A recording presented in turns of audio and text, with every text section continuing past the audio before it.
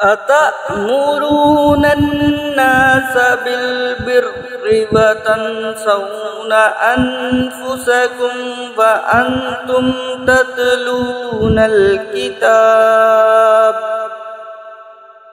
أفلا تعقلون